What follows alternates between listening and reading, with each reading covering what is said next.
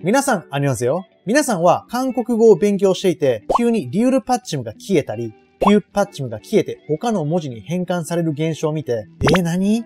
韓国語むずって感じたことないですか？例えば、原型のチュプタが話し言葉に変わると、チュオヨと全然違う文字になったりしますよね。そう。実はこれはパッチムの不規則活用なんです。韓国語は初心者の方が持っている教材などには、この不規則活用などは出さずに説明や問題を出しているのがほとんどなんですが、韓国語を話すときは、この不規則活用をすごくよく使います。もっと言うと、パッチムの不規則活用を知らないといつまで経っても初心者で一向に韓国語は話せない状態が続いてしまいます。実際に多くの皆さんもそうじゃないですかでも逆にこの不規則活用をマスターすると、初級の枠を抜けて韓国語が一気に上達します。また、この不規則活用でつまずいている人を本当によく見かけますので、私がこの動画でその全てを解決します。さあ、それでは韓国語の不規則活用完全攻略のスタートです。まず最初に知ってほしいのが、不規則活用は大きく分けてこのように6つの不規則があります。まず最初は1番のピューパッチムの不規則を解説していきます。この不規則活用はイメージで覚えていくことがすごく大切で、まずはピューパッチムは丸を求められる文法が来ると、ピューパッチムが消えて、ウーに変わるイメージを持ってください。また、ピューパッチムの不規則活用には3つのルールがあります。それでは今回使う単語をもとに3つのグループに分けておきました。ではまず不規則1を見ていきましょう。チュプタを使って次の2つの文法に変換していきたいと思います。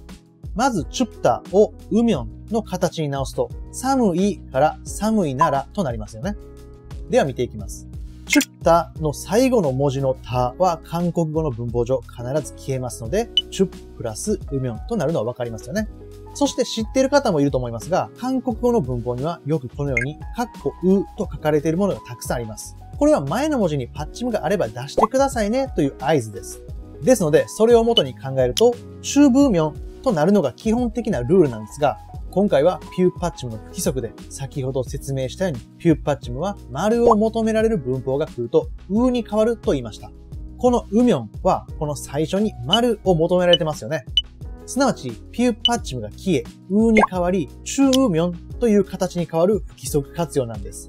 どうですか？なんか嫌でしょ私もいつもレッスンしていて、この不規則活用を説明したとき、皆さんの眉間にシワが寄るのをいつも見ています。でも、これは覚えていかないとダメなルールですので、なぜ変わるのかという疑問は捨てて、どんどん覚えていきましょう。実際私もなぜ変わるのかなどは知りませんし、言語学者でもないので考える必要はないと思っています。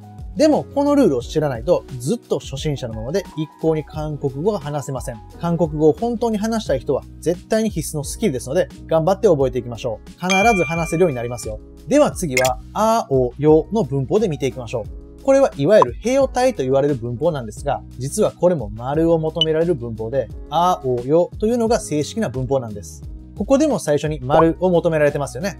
ではこれもチュッタを使って寒いから寒いですに変えていきましょう。基本通り考えると、チュップラスあおよですので、主語よとなりそうですよね。ただ、もしこの基本の併用体がまだ理解できてない人は、必ず併用体を理解してからこの動画を見てくださいね。基本が分かってない状態で規則活用を覚えるのは無理ですので、しっかり基本の併用体から理解してください。もちろん、併用体完全攻略の動画、教材もありますので、こちらをご覧ください。では戻って、主語用となりそうなんですが、ピューパッチムは丸があるとうに変わるルールです。そうすると、中うになりますよね。じゃあ、中よなのかと思った人が多いと思いますが、基本の平用体をしっかり理解している人はピンときましたよね。例えば、平うだという単語を平用体に直した場合、平をよになるのを知ってますよね。うは平用体に直した場合、をになるんでしたよね。それと同じで、中うは中をに変わり、中をよとなります。他の単語でトップタも同じ要領で作ります。動画の最後に練習問題を出していますので挑戦してみてくださいね。かなりややこしいルールですが、基本が理解できている人には問題なく理解できる内容ですので、しっかり最後までついてきてください。もしここまでが理解できない人は、しっかり基本から学び直して、この動画を再度見直してください。何度も言いますが、必ず理解できる内容になっていますし、もしこの不規則がわからない場合は、韓国語を話すことができません。韓国語がペラペラの人は絶対にこのルールを頑張って覚えた人です。この不規則活用が使えないと話せないってことをしっかり理解して乗り越えていきましょう。では続いて不規則の2を見ていきましょう。文法をわかりやすく先ほどのウミョン、あおよで見ていきます。単語はトップタとトッタで見ていきます。不規則の2ですが、1とは少し違うことを理解してくださいね。では行きます。コプタをウミョンの文法を使って、美しいから美しいならに変えていきます。もうやることはわかりますよね。コッププラスウミョンですので、コブミョンではなく、コウミョンに変わること。では、あおよで作ってみると、コッププラスあおよですので、不規則活用してあげて、コバよではなく、コウよになりそうですよね。しかしこれは不規則の2です。わざわざ不規則の2として説明しているには訳があります。このままですと不規則の1と同じですもんね。実はこのコプタは、あおを求められる文法が来ると、ウォではなく、わになるんです。ですので、こウよではなく、こわよとなります。もうイライラしますよね。気持ちすごくわかります。私も説明していて、生徒さんがレッスンをやめるんじゃないかなといつもハラハラしてます。でもルールですので、覚えるしか方法がないので頑張りましょう。では次の単語のトッターです。この単語はカンドラなどをよく見ている人は実はよく耳にする単語なんです。皆さんは、ドアジュセヨという韓国語を聞いたことがないですか？そう、助けてくださいという意味です。カンドラって嫌がらせをされたり、監禁されたりするシーンが多いので、このトアジュセヨをよく耳にします。では、この取ったをウミョンとアオヨの形に直してあげましょう。これは先ほどと同じですので簡単。まず、ウミョンなら、トプラスウミョンですので、ピューパッチムがウに変わり、トウミョンとなります。では次に、アオヨで見てみると、トプラスアオヨですので、トウヨではなく、トワヨになります。いいですか？今習ってるのは不規則の2ってことを忘れたらダメですよ。不規則の2は、あ、おを求められる文法が来ると、ピューパッチムは、ウォーではなく、ワーに変わるんでしたね。どうですか？ここまで理解できてますか？ここまでできれば、あとは簡単。それでは最後の不規則の3を見ていきましょう。これは実は超簡単。この不規則3は、不規則活用のルールが適用されないというルールです。ですので、基本のルールに従えばできてしまう超簡単なルールです。文法も同じものを使って見ていきます。単語は、イプタとチョプタを使っていきます。では、イプタをウミョンの文法で作ってみると、イププラスウミョンですよね。そして不規則の3は、ピューパッチムがウに変わるルールが適用されず、基本通りに作ればいいだけですので、イブミョンとなります。また、アオヨも同じで、イボヨとなります。間違っても、イウミョンやイオヨなどにしないように注意が必要ですよ。意味が通らないので、韓国の人には通じませんよ。それでは最後にチョプターを見ていきましょう。不規則3のチョプターをウミョンの形で作ると、チョプラスウミョンです。不規則活用適用せずに、チョブミョンとなります。そして、アーオヨで作ってみると、チョプラスアーオヨですので、チョバヨとなります。まあ、この不規則3のルールは問題ないですよね。これでピューパッチムの不規則活用の説明は終わりなんですが、ここで生徒さんからよくある質問があるので、こちらも紹介しておきます。質問。ピューパッチムがある単語が不規則活用するのは分かったんですが、どの単語が不規則の1で、どの単語が不規則の2、3に該当するのかを判断するんですか？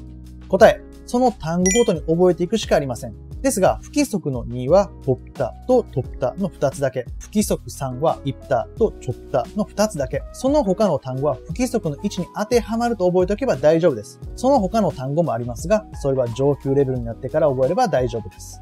続いての質問。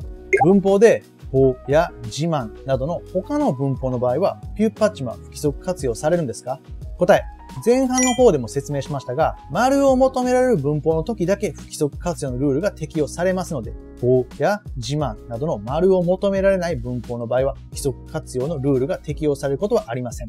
また、皆さんが気になる質問や、ピューパッチムの単語などがあればコメント欄で教えてください。それでは最後にまとめておきます。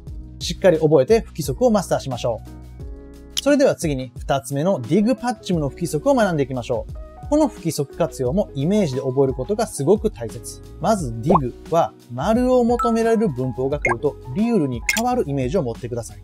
また、この dig パッチムの不規則活用には2つのルールがあります。今回使う単語をもとに2つに分けておきます。ではまず不規則1を見ていきましょう。トゥッタを次の2つの文法を使って作っていきます。まず、トゥッタをウミョンの形に直すと、聞くから聞くならとなりますよね。では見ていきます。トゥッタの最後の文字であるタは韓国語の文法上必ず消えますので、トゥプラスウミョンとなるのはわかりますよね。皆さんもご存知の通り、このカッコうとは前の文字にパッチムがあれば出してくださいねという合図です。ですので、to do ミョンとなるのが基本的なルールなんですが、今回は dig パッチムの不規則で、先ほど説明したように、dig パッチムは丸を求められる文法が来ると、リュールパッチムに変わると言いました。このカッコうミョンは、この丸を求められてますよね。まずは基本通り作ってあげると to do ミョンとなります。そしてこの dig パッチムは丸があることによって、このようにリュールパッチムに変わるんです。そうすると to do ミョンとなります。どうですか？理解できてますか？では次は、あ、お、よの文法で作っていきましょう。ここでも丸を求められてますよね。ではこれも to ったを使って聞くから聞きますに変えていきましょう。基本通り作ると to プラスあ、お、よですので to どよとなりそうですよね。でも dig パッチムは丸があるとリュールパッチムに変わるルールでした。そうするとこのように dig パッチムがリュールパッチムに変わり to ローよになります。動画の最後に他の単語での練習問題も出していますので、本当に理解できているか確認してみてくださいね。それでは dig パッチムの最後の不規則の2を見ていきましょう。これはすごく簡単。この不規則2は不規則活用のルールが適用されないというルールです。ですので基本のルールに従えばできてしまう超簡単なルールです。文法も同じものを使って見ていきます。単語はミッタを使っていきます。では、ミッタをウミョンの文法で作ってみると、ミプラスウミョンですよね。そして dig パッチムがリュールパッチムに変わるルールは適用されず、基本通りに作ればいいだけですので、パッチムありの場合は、カッコうを出してあげて、このようにミドゥミョンとなります。また、あおよも同じで、基本通りに作ってミドヨとなります。間違っても、ミルミョンやミロヨなどにしないように注意が必要ですよ。意味がわからなかったり、違う意味になったりしますので、韓国の人には通じません。では、この不規則2のルールに当てはまる他の単語も紹介しておきます。見た、パッタ、たった。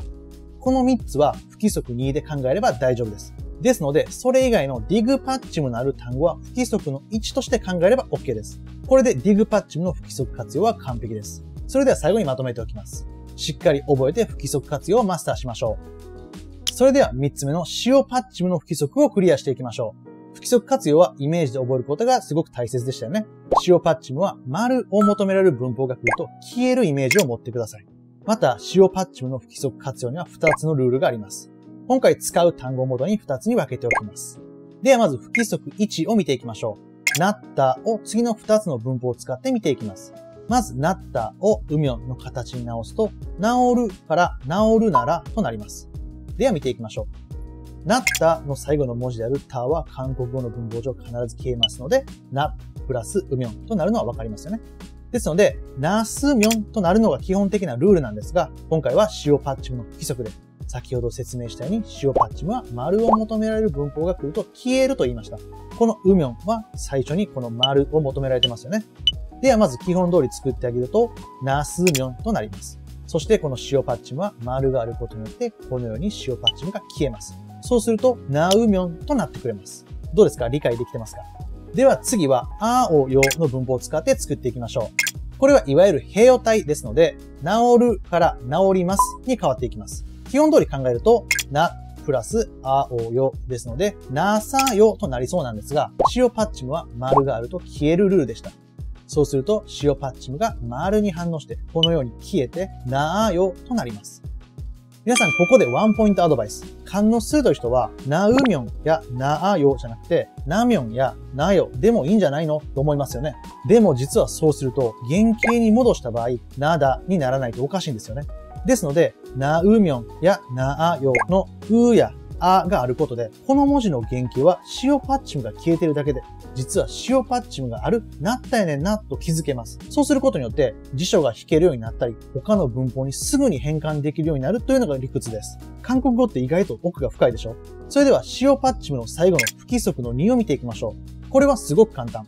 この不規則には不規則活用のルールが適用されないというルールです。ですので、基本のルールに従えばできてしまう超簡単なルールです。文法も同じものを使って見ていきます。単語は、打った、笑うを使っていきます。では、打ったをうみょんの文法で作ってみると、うプラスうみょんですよね。そして、塩パッチムが消えるルールは適用されず、基本通りに作ればいいだけですので、パッチムありの場合は、カッコうを出してあげて、うすみょんとなります。また、あおよも同じで、基本通りに作ると、嘘よとなりますよね。間違っても、ううみょんやうおよなどにしないように注意が必要ですよ。では、この不規則の2のルールに当てはまる他の単語も紹介しておきます。打った、掘った、散った。この3つは不規則の2で考えれば大丈夫です。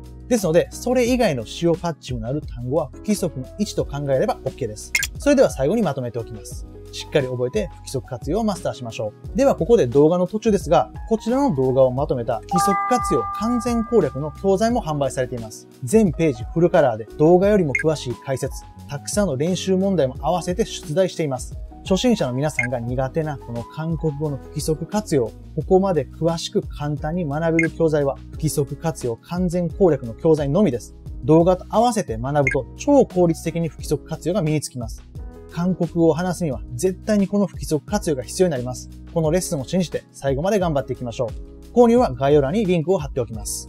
では戻って、次は4つ目のヒューパッチムの不規則を見ていきましょう。不規則活用はイメージで覚えることが大切でしたよね。ではまずイメージから。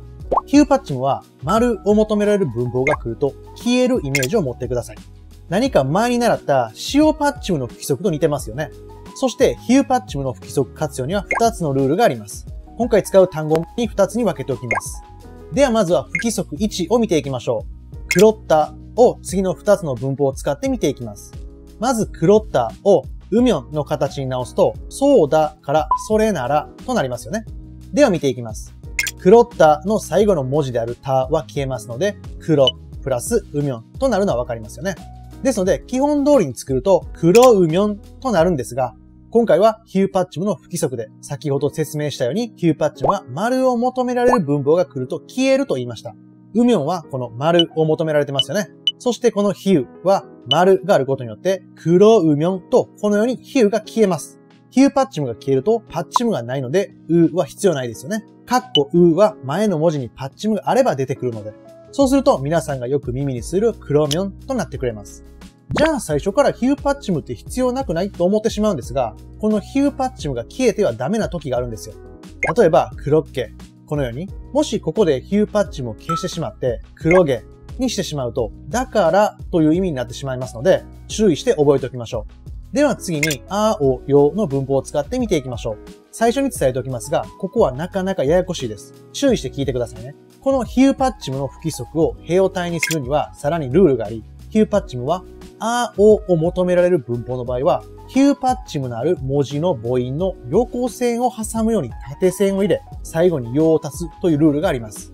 かなりややこしいですが、こちらの意味は後でわかるので、まずは進めていきましょう。ではこれも黒った使って、そうだからそうですに変えていきましょう。基本通り考えると、黒プラス青よですので、黒よ。このようになりそうですよね。でも今回はヒューパッチムの不規則活用ですので、もちろん変わってきます。まずヒューパッチムは丸があると消えるルールでした。そうすると、このようにヒューパッチムが消えて、クローよとなるんですが、そこで先ほど少し説明したように、ヒューパッチムは、あをお求められる文法が来る場合は、ヒューパッチムなる文字の母音の横線を挟むように縦線を入れ、最後に用を足すというルールがありました。そうすると、このように2文字目のロの横線を挟むように縦線を足すと、レ、このようになりますよね。そして最後によを入れてあげます。そうすると、くれよとなります。くれよよとはならないので注意してくださいよ。O が消えることも忘れたらダメですよ。かなりややこしい不規則ですので、1回で理解するのは難しいと思います。何度か見直していきましょう。ただ、皆さんの理解度が少し不安ですので、もう一つ別の単語で見てみたいと思います。単語は流行ったで見ていきます。では、流行ったを併用体に変えてみましょう。まず、ヒューパッチムは消えますよね。そしてこのように2文字目のやの横線を挟むように縦線を入れます。そして最後によを足してあげると、はえよとなってくれます。どうですか？理解できそうですか？もちろん私も皆さんの気持ちがわかります。もう韓国語が嫌になりそうですよね。でももしこの不規則がわからない場合、韓国語を話すことができません。この不規則活用が使えないと話せないってことをしっかり理解して乗り越えていきましょう。今回のヒューパッチムの不規則活用は他の不規則よりも難しいので、本当に理解できてるか何度も確認してみてください。それでは最後の不規則の2を見ていきましょう。これはすごく簡単。この不規則2は不規則活用のルールが適用されないというルールです。ですので、基本のルールに従えばできてしまう簡単なルールです。文法も同じものを使って見ていきます。単語はちょったを使っていきます。では、ちょったをうみょんの文法で作ってみると、ちょプラスうみょんですよね。そして、ヒューパッチムが消えるルールは適用されず、基本通りに作ればいいだけですので、パッチムありの場合は、うを出してあげて、ちょうみょんとなります。ここでワンポイントレッスン。ヒューパッチムは弱音化といって音がなくなる性質を持っていますので、このように超風明などの連音化にならないことも合わせて覚えておきましょう。このヒューパッチムの弱音化の説明は他の動画で解説していますので、もし知りたい方は概要欄をチェックしてみてください。では次に、あおよですが、これも同じで、基本通りに作ると、ちょあよとなりますよね。しっかりちょったは、ヒューパッチムの不規則活用は適用されないことを覚えておきましょう。では、この不規則の2に当てはまる単語を紹介しておきます。ちょった、乗った、乗った。この3つは不規則の2で考えれば大丈夫です。ですので、それ以外のヒューパッチムなる単語は不規則の1として考えれば OK です。これでヒューパッチムの不規則活用の説明は終わりなんですが、ここで生徒さんからよくある質問があるので、こちらも紹介しておきます。質問。ヒューパッチムと塩パッチムは丸を求められる文法の場合は消えると言われたんですが、例にあるように、なぜヒューパッチムの時は後ろの丸が消えて、塩パッチムの時は消えないんですか？答え、いい質問ですね。ヒューパッチムの丸のところは文字が消えて、塩パッチムの丸のところは文字が消えない。でも、このルールがないと、会話言葉に変わってしまっている単語を辞書で調べるときに、丸のところの文字が消えているから、原型はヒューパッチムがついてるんだなってわかりますよね。反対に、丸のところの文字が残っているから、原型は塩パッチムがついてたんだなと見抜けるはずです。少しややこしいですが、その単語の原型がわかるヒントですので、この際にしっかり覚えておきましょう。ヒューパッチムは丸が消える。塩パッチムは丸が消えない。と簡単に覚えておきましょう。いつか必ず役に立ちますよ。それでは最後にまとめておきます。しっかり覚えて不規則活用をマスターしましょう。さあ、残すもあと2つ。次は不規則の5つ目。ビュールパッチムの不規則です。ビュールパッチムの不規則は初級者の人でも少し学んだことのある不規則だと思います。なんとなく消えたり消えなかったりで面倒な不規則やなってぐらいで曖昧に覚えてると思います。ただ今回は私が考えたナップンサラムの法則を使い、リュールパッチムの不規則を完全にマスターしていただきます。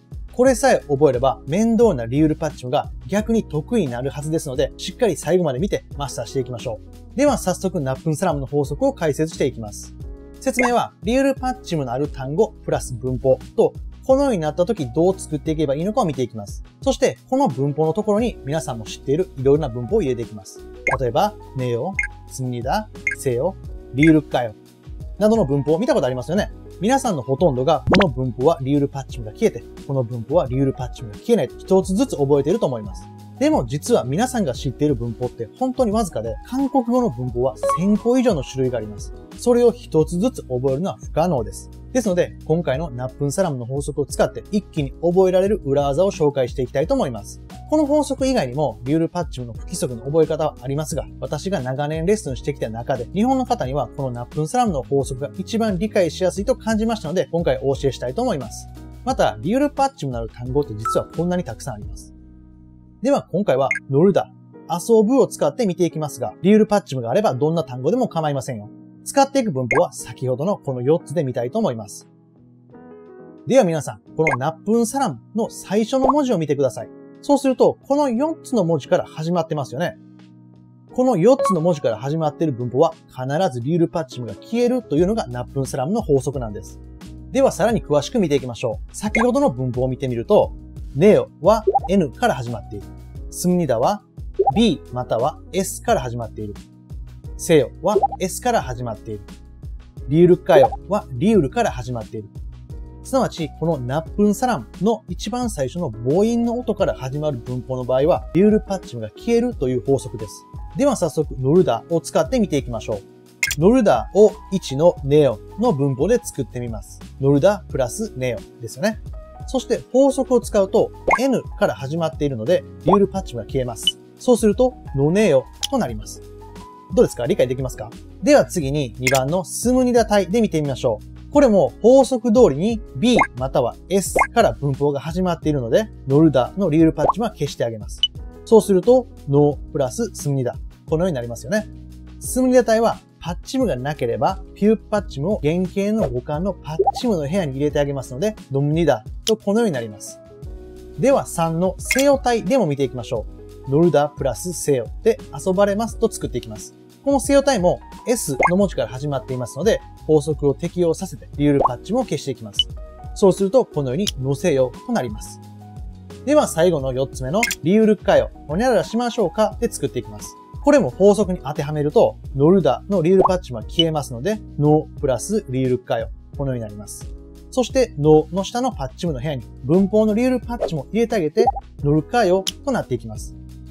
どうですか？不思議でしょ？これがナップンサラムの法則の力です。しっかり覚えれば、どんな単語や文法だって自信を持って作ることができます。ただ、語学には不規則がつきものです。このナップンサラムの法則に当てはまらない文法が4つほどあるので、それも念のために紹介しておきます。その文法とは、うみょん、うろ、うりょご、うろ。この4つの文法は、リュールパッチムがある単語の場合でも、リュールパッチムが消えず、さらにパッチムがあるからといって、カッコうも出てきません。では、この4つの作り方も簡単に見ておきましょう。最初は1つ目のうみょんです。単語も先ほどのノルダを使って遊ぶから遊ぶならになるように作ってみましょう。答えから見るとこのようにノルミョンとなります。このウミョンの場合、リュールパッチムは消えませんし、パッチムがあるからといってこのようにノルミョンとはなりません。注意して覚えておきましょう。では次に二つ目のウロ、ホニャララシニを見てみましょう。これもノルダを使って遊びに行きますという韓国語を作ってみます。1番目のウミョンと考え方は全く同じで、リュールパッチも消えませんし、ウーも出てきません。そうすると、ノルロかよとなります。どうですか？大丈夫ですか？では次に3番目のウリョ語、ほにゃららしようとを見てみましょう。これもノルダを使って遊ぼうとという韓国語を作ってみます。作り方は全く同じで、リュールパッチも消えませんし、ウーも出てきません。そうすると、ノルリョ語となります。同じなんで簡単ですよね。それでは最後の4番目のウロ、ほにゃららでほにゃららえで見てみましょう。この文法の場合は、リュールパッチもなる名詞が必要ですので、今回はチハチョルとソウルを使って説明していきます。ではまず、地下鉄で行きますという韓国語を作ってみると、チハチョルロカヨとこのようになります。そして、ソウルへ行きますという韓国語を作ると、ソウルロカヨとこのようになります。間違っても、リュールパッチも消したり、上を出したりしないでくださいね。意味が通じない韓国語になってしまいます。しっかりとナップンサラムの法則とその他の不規則の4つを覚えてリュールパッチムの不規則をマスターしましょう。それでは最後にまとめておきます。しっかり覚えて不規則活用をマスターしましょう。それでは次は最後の不規則活用。6つ目のルーの不規則活用を解説してレッスンを終わりにしましょう。前半でもお伝えしたように、規則活用はイメージで覚えることがすごく大切。まずは、ルーはあ、おを求められる文法が来ると、前の文字にリュールパッチムが増えるイメージを持ってください。このあ、おは、あ、およ、あ、おそ、あ、お中世よ、などなど、あ、おから始まる文法すべてのことです。また、ルーの不規則活用には間違いやすい別のルールがありますので、しっかり最後まで聞いてください。では、今回使う単語をもとに、不規則とそれに似た間違いやすいウーの不規則の2つに分けて説明していきます。ではまず、ルーの不規則を見てみましょう。モルダを使い、次の2つの文法を使って見ていきます。まず、モルダをウミョンの形に直すと、知らないから知らないならとなります。では見ていきましょう。モルダの最後の文字であるタは韓国語の文法上必ず消えますので、モルプラスウミョンとなるのはわかりますよね。またこのカッコウは前の文字にパッチムがあれば出してくださいねという合図でしたよね。ですので、モルにはパッチムがないので、モルミョンとなります。このカッコウから始まる文法の場合は特に不規則になることはないので逆に注意してくださいね。では次は、あおを求められる、あおよの文法で見ていきましょう。ではこのモルダーを使って知らないから知らないですに変えていきましょう。基本通り考えると、モルプラスあおよですので、モラよとなりそうですよね。パップダが平用体に変わると、パッパよに変わりましたね。これは五感の母音がうの時の平用体の作り方です。もしこの基本の併用体がまだ理解できていない人は、必ずこちらの併用体完全攻略の動画を見てくださいね。基本が分かってない状態で不規則活用を覚えるのは無理ですので、しっかり基本の併用体から理解してください。この平用体の作り方は動画の概要欄に載せておきます。では戻って、もらよとなりそうなんですが、ルーの不規則は、あ、おがあると、前の文字にリュールパッチムが増えるルールなんです。そうすると、もらよとこのように前の文字にリュールパッチムが増えます。それでは次の間違いやすい、ルーに似た、うの不規則活用を見てみましょう。これが実は意外に厄介なんですよね。では、ダルダで見てみましょう。モルダもダルダもルがあるから同じ不規則やんなって思うんですが、でもこのダルダは今回のルーの不規則活用ではなく、先ほどの解説にも出てきたパップダなどのウーの不規則活用のルールが適用されるというルールなんです。もう少しわかりやすくまとめると、このウーがある単語は、今回のようにルーの不規則活用なのか、ウーの不規則活用のルールなのか、この二つに分類されます。同じルーでもどちらの活用法を使うかはその単語によって変わってきますので注意が必要になります。では間違いやすいルーの不規則に似たウーのルールを見ていきましょう。単語は続けてダルダを使っていきます。では、ダルダをウミョンの文法で作ると、ダルプラスウミョンですよね。そして、ダルにはパッチングがないので、ダルミョンとなります。まあ、これは問題ないですよね。では、あおよでも見てみましょう。ダルダはルーの不規則活用は適用されないので、前の文字にリールパッチングが増えるというルールはなく、基本通りに作り、ダラよとなります。間違っても、ダラよなどにしないように注意が必要ですよ。では、このうの不規則活用のルールに当てはまる単語を紹介しておきます。ダルダ、トゥルダ。この二つがうの不規則で考えれば大丈夫です。もっと簡単に説明すると、この二つ以外のルーのある単語は、ルーの不規則活用として考えれば OK です。それでは最後に生徒さんからよくある質問があるので、こちらも紹介しておきます。質問。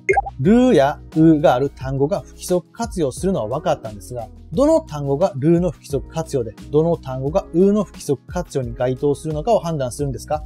答え。いい質問ですね。皆さんは韓国語の辞書を引いたことがありますか？そうすると、このように、モルダ、ルヘンやダルダ、ウヘンなどと書いてあります。それを見て判断することも可能です。